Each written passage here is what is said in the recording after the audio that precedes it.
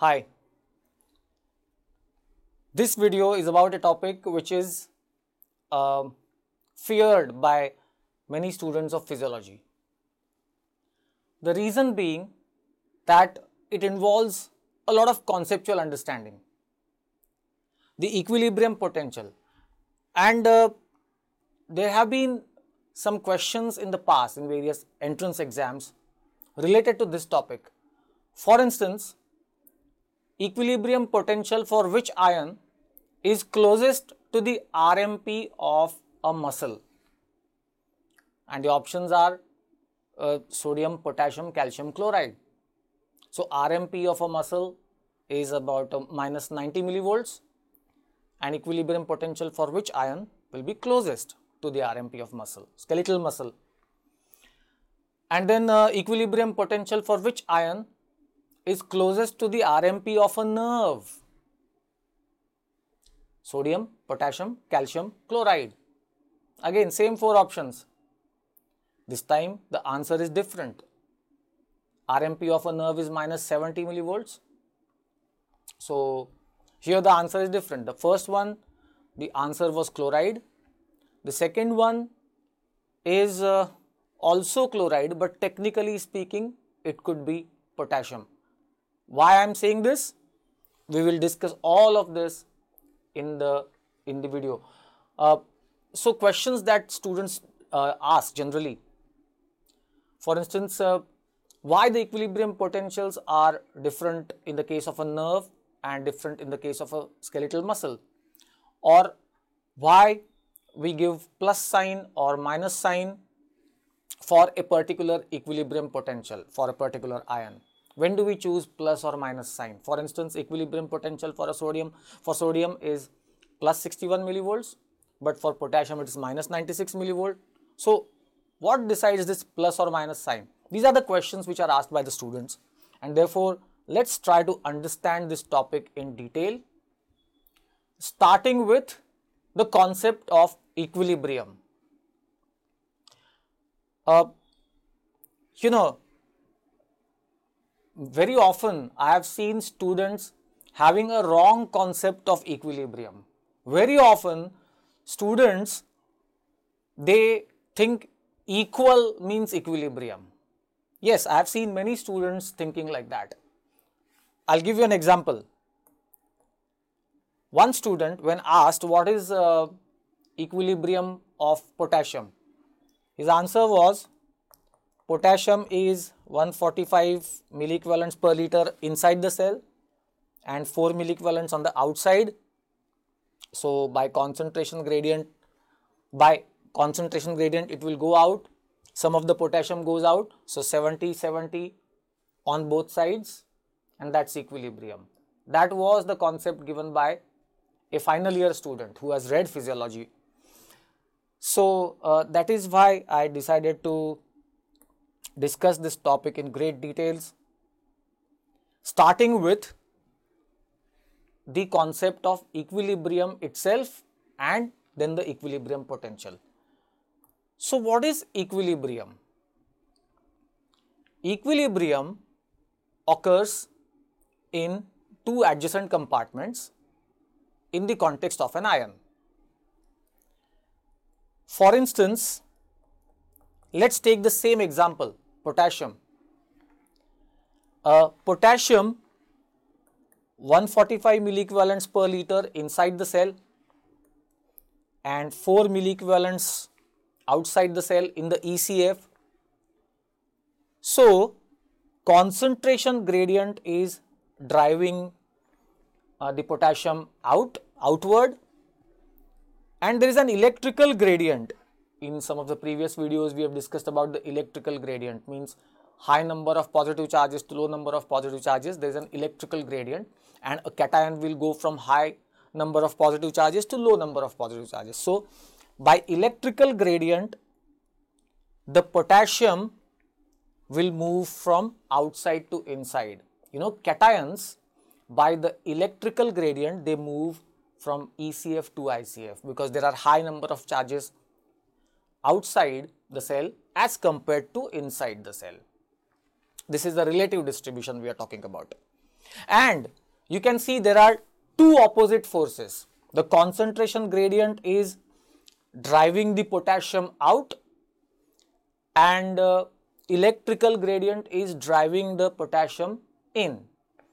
At some stage, when these two forces are equal, when these two forces that are causing the movement of potassium, they become equal. So, equal and opposite forces now. They balance out each other. Means there will be no net movement of potassium now.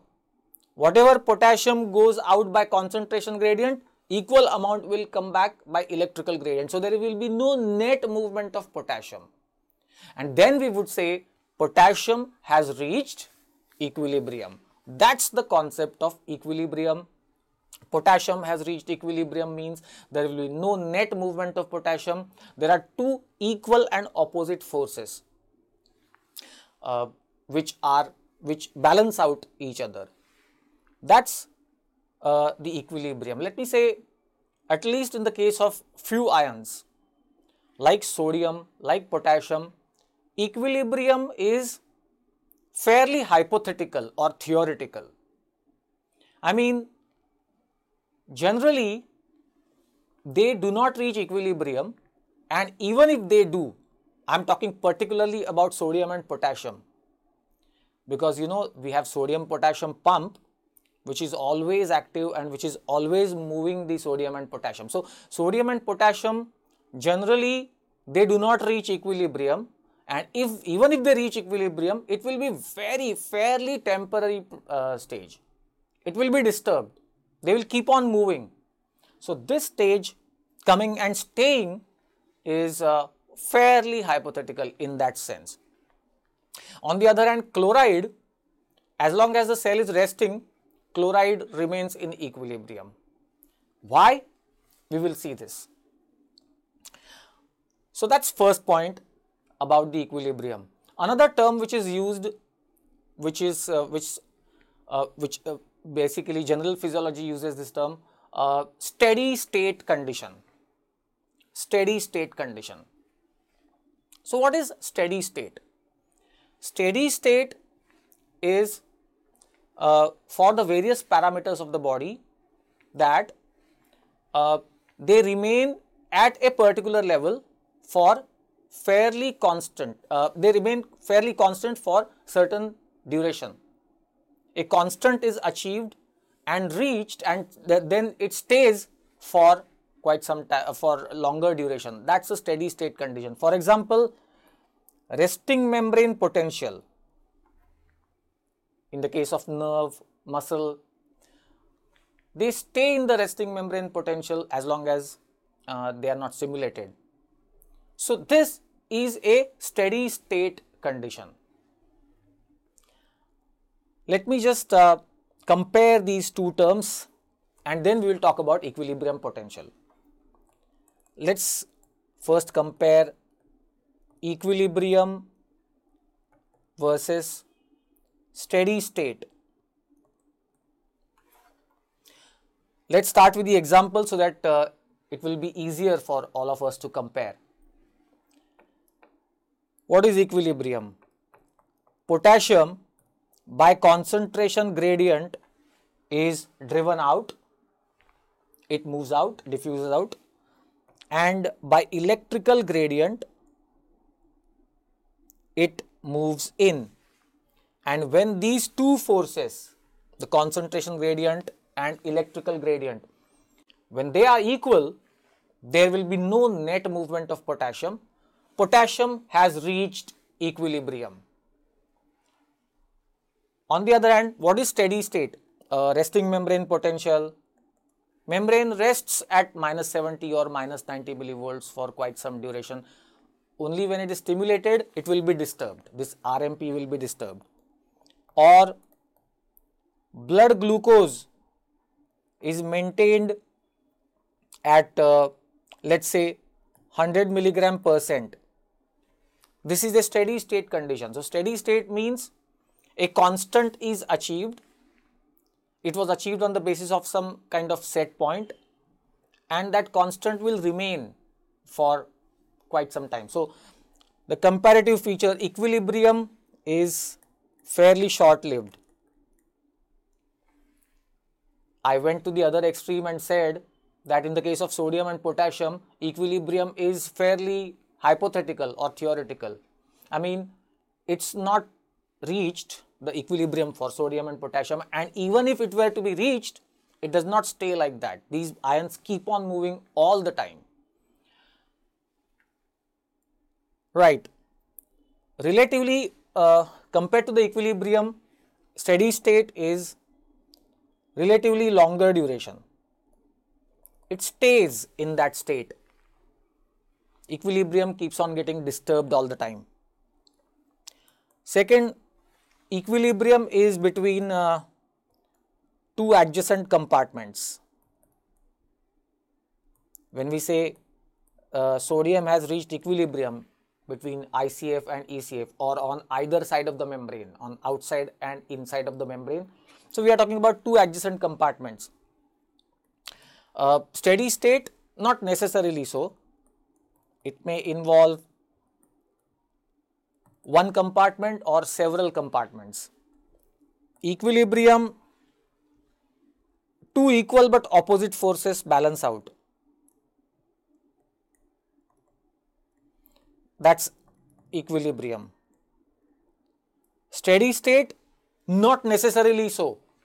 In the steady state, there can be multiple forces and they are not necessarily equal and opposite. Take the case of uh, blood glucose to maintain blood glucose at 100 milligram percent, there were multiple forces which were acting and they are not necessarily equal and opposite to each other. Most importantly, uh, equilibrium does not need any ATPs.